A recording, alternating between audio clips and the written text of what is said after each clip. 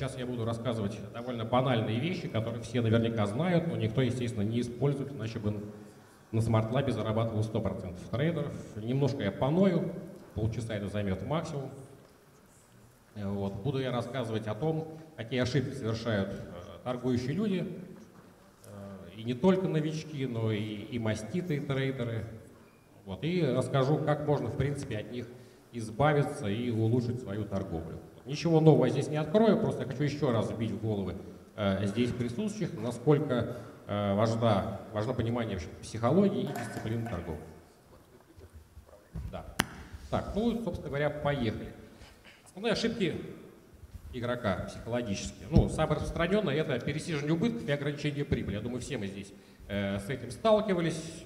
Мы можем позволить своим убыткам течь сколько угодно, будем долго сидеть, надеяться на то, что однажды все в отрастет обратно, и мы э, заработаем. Вот на самом деле история полна очень, очень грустных примеров, когда вообще люди сидели, сидели, не дождались и умерли от старости. Вот. И э, ладно, бы, ладно бы ждали и дождались, так нет же. Как только рынок начинает идти в сторону игрока, и как только он перешагивает нулевую отметку, вот, и человек остается в нуле, он либо сразу закрывает сделку, либо получает какую-то маленькую дельту, закрывает ее, говорит, фух, все, наконец-то заработал, ну и, собственно говоря, бросает. Цели, которые ставились, когда был вход в сделку, уже, естественно, идут по боку, они уже неинтересны. Самое главное, все, ты, ты закрылся в каком-то плюсе, там обычно плюс вообще небольшой, или даже, даже, даже ноль, вот, но, тем не менее, ошибка распространенная. Отсутствие стопов, это, собственно говоря, ну, из этого и идет следствие э, фигуры первой. Вот. Естественно, стопы придумали трусы, вот, э, стопы они создают только убытки, это очень распространенная Э, мысли и идеи людей, которые просто не умеют их правильно готовить. На самом деле стопы, они очень хорошо и сильно дисциплинируют людей. Вот. Если вы э, научитесь ставить стопы так, чтобы их не убивало, значит, вы научились входить в сделку так, чтобы рынок разворачивался, начиная с того момента, когда вы в него вошли. То есть не в середине где-то там, вот, а именно в, в точке разворота. Поэтому э, на самом деле э, постановка стопов, она очень сильно дисциплинирует, она заставляет человека э, понимать, что он сделал не так. То есть если вас выбили стоп, значит, что-то вы сделали не так. Вот. Если вы что-то сделали не так, вы начинаете рефлексировать, анализировать ситуацию, ну и, в конце концов там, добиваетесь своего. Вот. Если вы будете торговать без стопов, если вы будете переслеживать прибыль, вы никогда в жизни не научитесь ходить правильно, потому что в данном случае у вас не будет совершенно никакого стимула. Ну там, да, ну посидел три месяца в какой-то сделке, ну и ничего. Вот. Хотя на самом деле за те три месяца, которые вы в ней сидели, вы могли бы сделать еще 20 сделок прибыльных и, в общем-то, нервы себе не портить. Так, едем дальше. Попытки догнать рынок. Это тоже э, самая большая фигня, которая, собственно говоря, и рождает тильт в основном. Вот. Мы стоим, ждем какого-то уровня, чтобы не зайти. До уровня рынок, как нам кажется, не доходит. Там начинается откат. Мы тут же подумаем, что все пропало, догоняем этот откат. Вот, заходим, скорее всего, на самой вершине этого отката, потом движение начинается к вашему уровню, вы опять закрываете сделку, потом опять открываете, в общем, ну, следуем за движением рынка, только не в ту сторону. Этого тоже делать нельзя. Если вы поставили какую-то цель и пытаетесь войти по какому-то уровню, то, ну, если до вас не дойдет, то значит вы уровень выбрали неправильно, значит вам надо поработать над правильным определением. Вот. Но вот в моих практике 90% доходят. Бывает, бывают случаи, когда они доходят, но это не означает, что надо э, брать и пытаться рынок догонять, догонять по любой цене, поскольку, во-первых, у вас и стоп будет больше, ну и, во-вторых, скорее всего, вы там, в какой-то определенный момент э, затильтуете. Просто надо также понимать, что э, на рынке моментов для входа удачных, ну, если торгуете интрадэ, их там 100-200 в день. Если вы там один не сыграете, то да, да ради бога, господи, ну, подождите следующего поезда, собственно говоря, это же там, там не самолет в Кемерово, он не один раз в день летает, вот, да, достаточно много. Так, едем дальше. Подпитки отбить рано закрытые трендовые позиции контртрендом. Это э, распространенная беда людей, которые уже научились входить по тренду. Это очень тяжело на самом деле, но если вы научились, это уже хорошо. Вот. Но тем не менее мы входим в тренд, там, рынок растет, начинает там дрыгаться, пытаться развернуться, тра-ля-ля. Вот, мы, естественно, опять до цели не досиживаем, закрываем сделку, еще рынок идет дальше. Вот, нам становится обидно, как так, мы пропустили там половину движений, потом, а, а давай-ка я там ну, допустим, лонговали вперед, давайте я шартану. И вот на откате как раз поймаю ту дельту, которую не дозаработал на тренде. Ну, естественно, после того, как вы шортите, рынок идет дальше вверх. Вот, ну, и смотри пункт 3. Э, вот, тоже этого делать не стоит. Вот, если вы поставили, если нашли там по какому-то уровню, по тренду и поставили себе какую-то цель, вот, имейте, имейте храбрости дождаться ее и имейте в виду, что поскольку ну, как бы, э, почти любое движение трендовое имеет как бы, пятиволновую структуру, то вам нужно уже заранее быть готовым к тому, что вам два раза придется очень сильно напрячься, когда рынок будет так сказать, идти э, против вашего движения. Ничего страшного, это коррекционные волны, они бывают. Вот, досидите, сидите до пятой, там можете закрываться.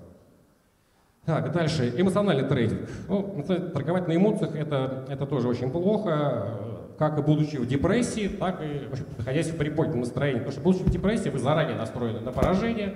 Вот. Такая игра обычно ведет к тому, что как бы вы не особо там, всматриваетесь в сделку, которую вы делаете. Если она, так сказать, происходит убыточно, вы думаете, ну вот, я так и знал. Вот, начинаете опять рефлексировать, там, искать в себе какие-то неправильные вещи. Ну, возможно, это неправильно, но, тем не менее, э, если вы, так сказать, занимаетесь каким-то делом, вы знаете, что когда вы э, так сказать, к этому делу подходите с точки зрения победы, когда вы настроены на победу, то большинство как бы, дел заканчивается хорошо. Если вы заранее настроены, что у вас ничего не получится, ну, скорее всего, да, у вас ничего не получится. Вот. Ну и опять же, если вы находитесь в эйфории, там, сделали пару сделок, подумали, что вы все, король мира, и начинаете там брать третье, пятое, десятое плечо, вот, входить уже на бум, там, типа, я любимчик фортуны не везет, это тоже кончится плохо. Вот. Потому что Э, позитивный настрой, чрезмерно позитивный настрой, он э, депозиты обнуляет гораздо быстрее даже, чем э, какое-то минорное настроение. Так, постоянное желание торговать. Ну да, я думаю, что всем знакомо. Вот, человек думает, что если я постоянно не торгую, то какой я к чертовой матери трейдер.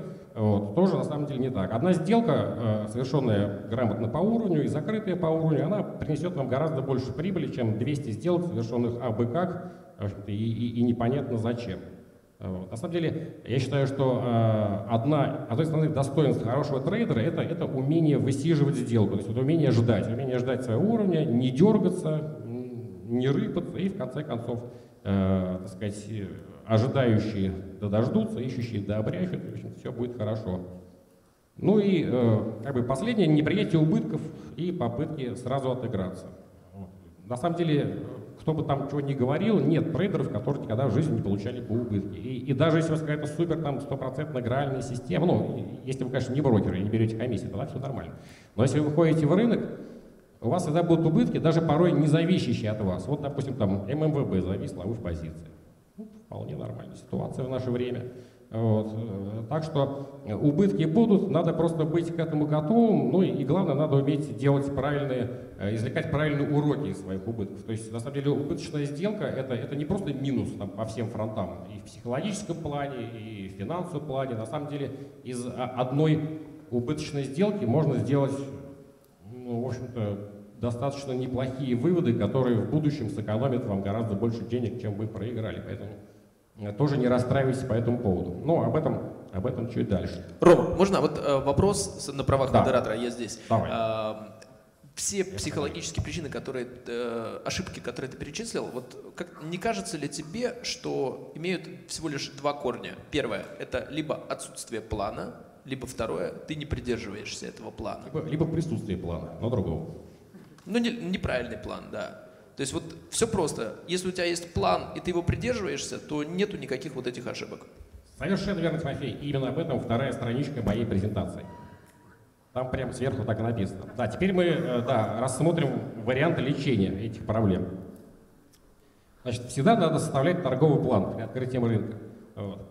Это, это очень полезно просто потому, что вы сможете вычленить э, количество сделок, которые вы сделали от балды, от количества реально нормальных сделок, которые вы могли бы совершить.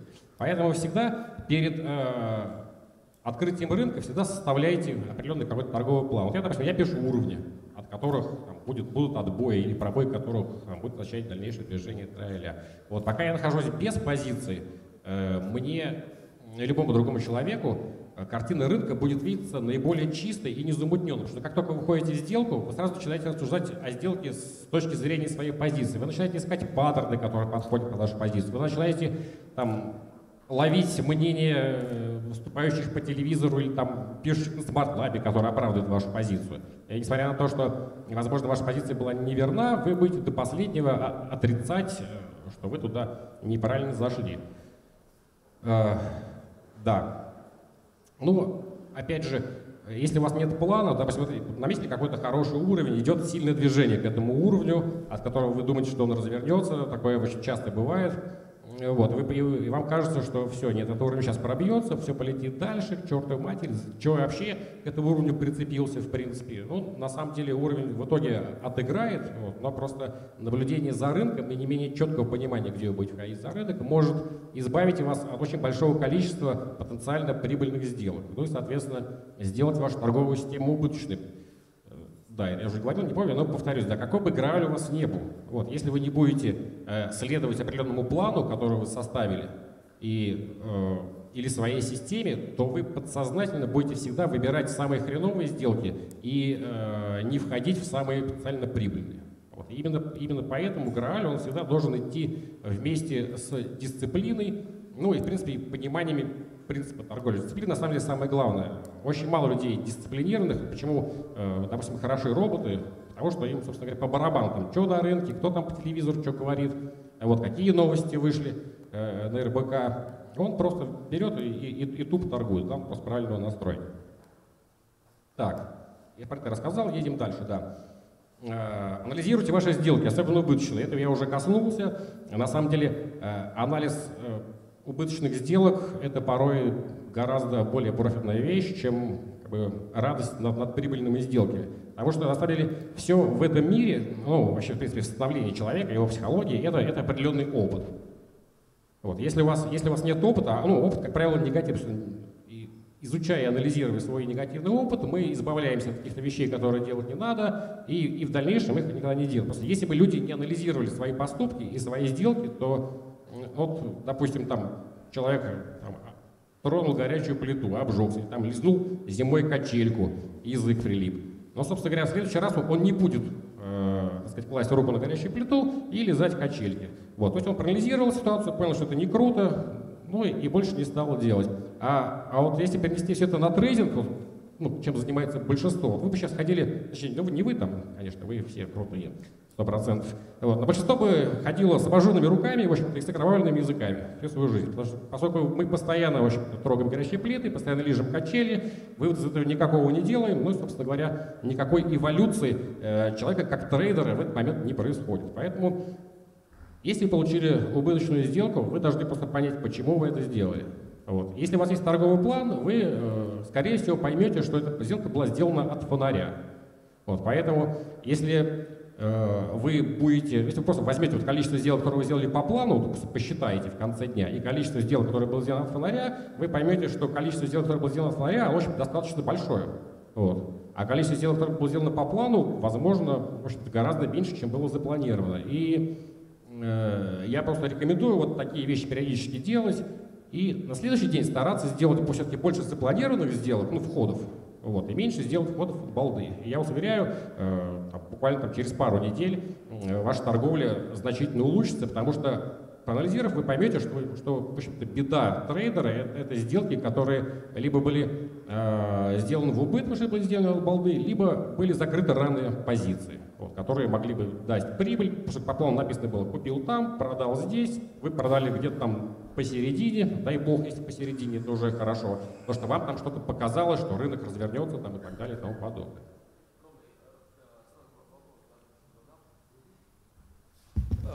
Вот э, на самом деле это очень важная вещь, я бы хотел сделать акцент на ней. Просто мы, у меня недавно была беседа с Андреем Берецом, это такой довольно прибыльный скальпер. Он Кто такой Андрей? А? Кто такой Андрей? Это мумитроль, в общем, э, скальпер такой мощный.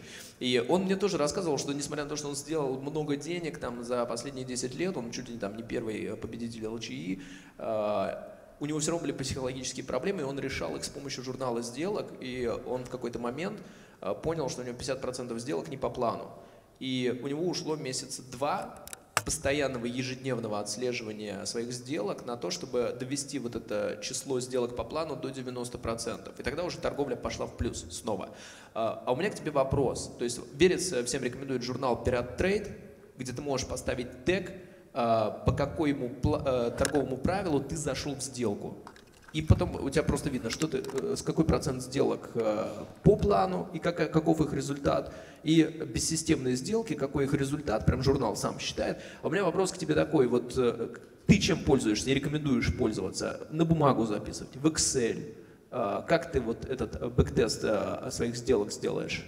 Ну, на самом деле, вести прям журнал сделок это, это, это жесть реальная. Вот. Это, это уже получается настоящая работа. То есть, если все думают, что трейдером быть легко, вот там взял, там кликнул, заработал, ушел, там все, прокрутил, то ведение журнала сделок это уже какая-то работа там либо секретаря, либо еще чего-то. То есть это, это уже как бы жестко. Ты понимаешь, что деньги начинают конкретно зарабатываться прям вот тяжелым Э, физическим трудом. На самом деле у меня все проще. Я веду свой журнал сделок на SmartLab. Я просто каждое утро, помимо там, своей таблички и рассуждений, я выкладываю уровни, по которым я буду входить, выходить в сделку. Вот, собственно говоря. А потом у меня идет анализ просто того, где я вошел, где я не вошел. Ну, есть, конечно, еще э, сделки внутри дня, но я, я их тоже стараюсь озвучивать в общем и, и, и говорить. Вот, собственно говоря, это, это, это, это и есть мой журнал. То есть ничего такого там серьезного не веду. На бумаге я вообще писать не люблю, потому что я пишу так, что вечером я сам не понимаю, что я написал. Вот. В Excel ну, тоже как-то достаточно э, жестковато. Так что ну, кстати, вот ты сказал такую фразу, надо делать это эпизодически. Я бы, наверное, здесь поправил тебя, это надо делать постоянно, каждый день. Ну, И... Если, если у вас усидчивость такая прям конкретная, если у человека робот, то да. Но вот. по-другому просто не будет э, стабильного результата. И э, если вот э, взять тво, тебя конкретно, да, ты как раз отличаешься тем, что ты делаешь этот журнал на Smart Lab дисциплинированно каждый рабочий день уже, не знаю, много лет. И это поражает то, что ты действительно это постоянно делаешь перед открытием рынка. И вот твоя дисциплина просто поражает. Нет, ну, на самом деле, э, вся моя жизнь это, это определенная дисциплина, потому что, на самом деле, человек дисциплинированный ну, в любой из сфер, дисциплинированный везде. Вот брать, допустим, военных людей, они самые, в общем хорошие, наверное, трейдеры были бы, вот, если бы кто-то позвал торговать. Вот. Потому что это, эти люди зачем знать такой дисциплины? Потому что дисциплина должна быть во всем. Пришел грязной обувью, помой ее. Вот, какая-то бытовая вещь, там, поел, помой тарелки, там, пойди в спортзал там, каждый день, напиши блог каждый день. Вот такая вещь, мелочи во всем, они постепенно дисциплинируют человека. И на самом деле дисциплина это хорошо не только в трейдинге, это, это, очень хорошо везде, потому что дисциплина человека всегда все э, на своих местах, он всегда понимает, что происходит, он, потому что он анализирует да, все, что происходит, ну и, соответственно, все у него замечательно в итоге. Так, едем дальше. Да, в общем, запомнили свои дисциплинированные сделки, стараемся их больше не делать. Вот. Ну и, э, я не знаю, что я здесь написал, это, в принципе, вопрос к пересиживанию убыток. Просто если вы действительно пересиживаете убыток, самый простой психологический прием понять, а, ну, реально ли вы ждете, что вырастет, или просто вы как бы э, боитесь выйти из зоны комфорта, это просто спросить тебя, а вот купили бы вы сейчас вот эту бумагу, которую вы купили когда-то, вот именно по этой цене. Вот. Если ваш ответ нет, значит вы просто пытаетесь остаться в зоне комфорта, чтобы не травмировать мозг себя любимого, как так, в общем-то, вы вошли в позицию, она в будет закрыта в убыток. Вот. Ну и опять же помним, что убытки у всех бывают, но не у всех проходят. Не проходят у тех, кто не анализирует. Вот. Ну, как раз следствие из этого надо всегда защищать свой портфель, а, а, а не свое сознание. Вот. Надо смотреть своим убытком в глаза, не бояться их. Любой отрицательный опыт это, это опыт, еще раз говорю, еще более позитивный, еще более интересный, чем э, опыт позитивный, потому что позитивный опыт, он на самом деле ничему не учит, он просто поднимает вам э, жизненный тонус. Э, а вот негативный опыт, правильно использованный, правильно повернутый, это, так сказать, достаточно богатый опыт, который в будущем избавит вас от там, миллиона подобных сделок, которые могли бы совершить.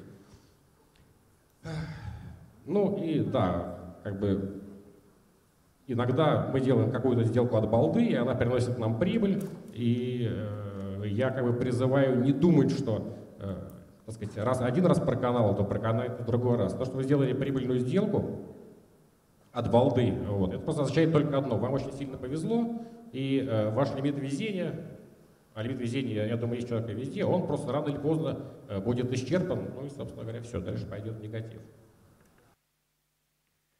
Так, это как раз забавно, вот, учитывая то, что я вам что-то рассказываю, а вы слушаете. Э, не ведитесь на мнение со стороны.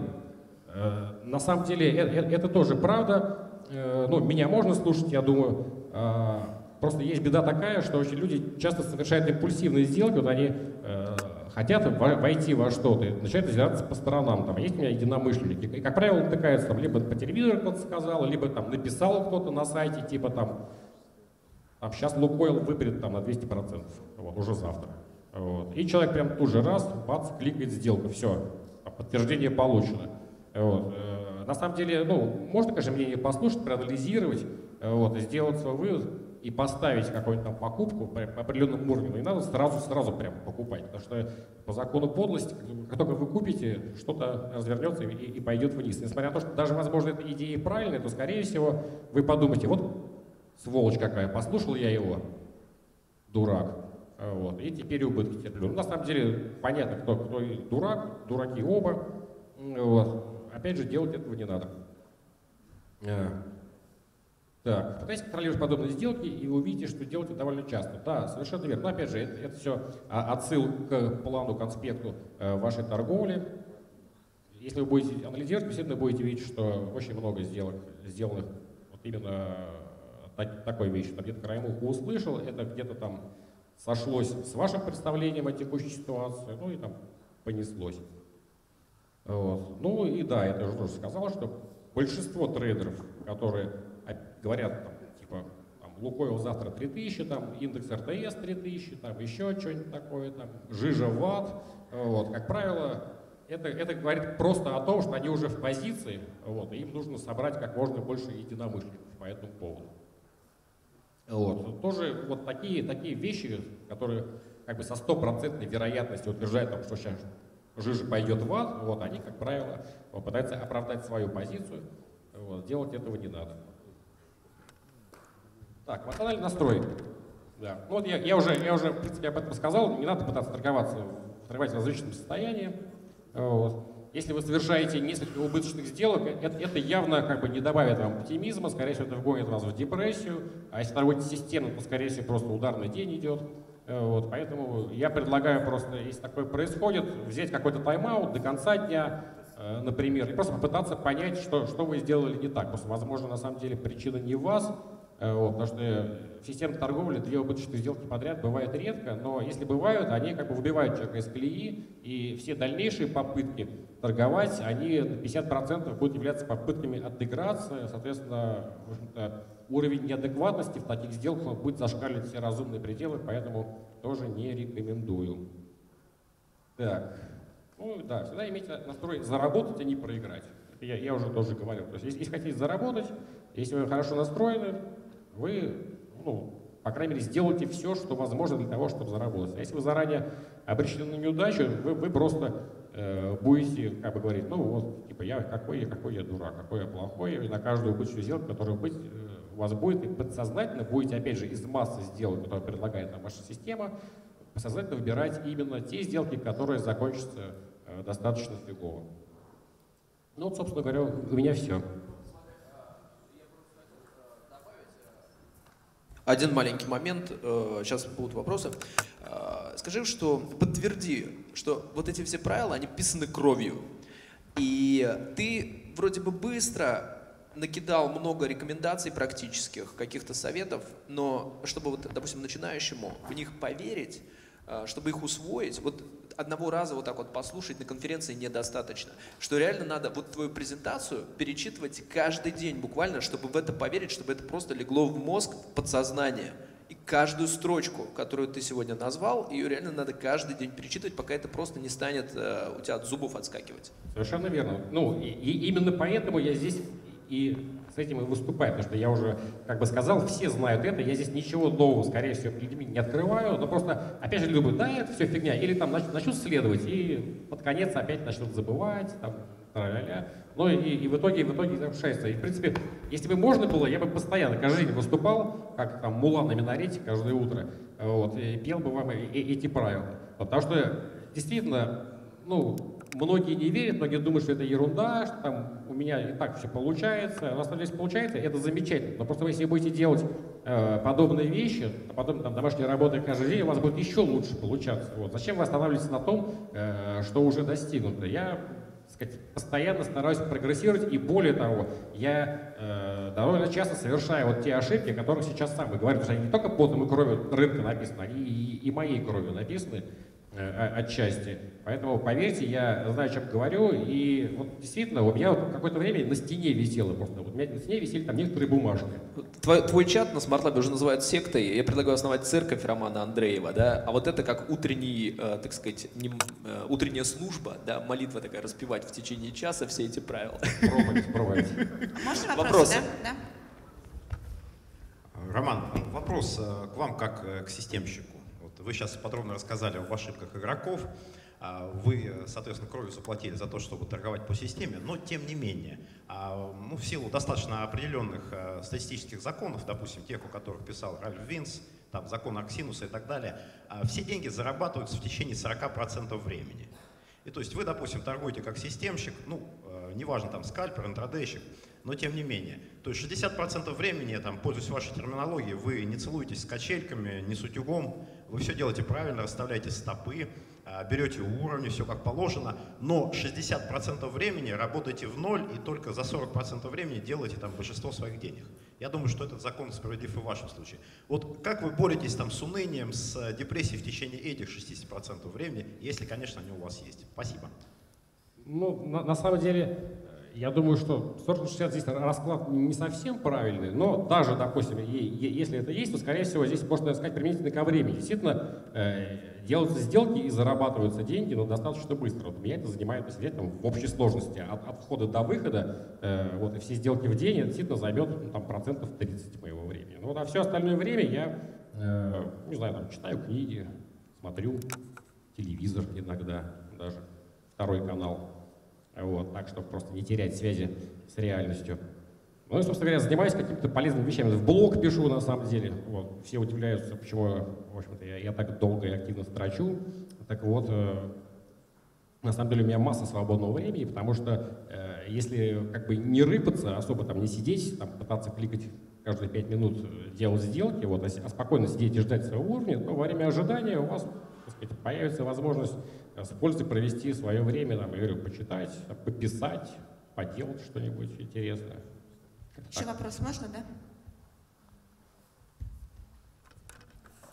А, Роман, а, вот вы сказали, вся жизнь дисциплина, но это замечательно в теории, но а, как на практике это работает с точки зрения психологии?